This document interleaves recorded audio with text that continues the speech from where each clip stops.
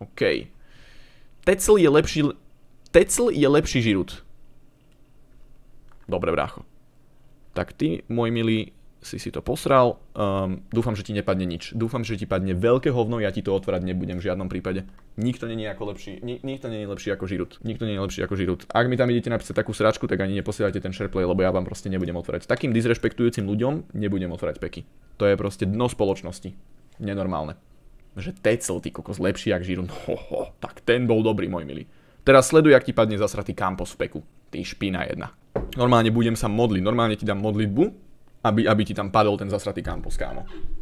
Fakt, normálne zo srdca ti to želám. Zo srdca ti to želám.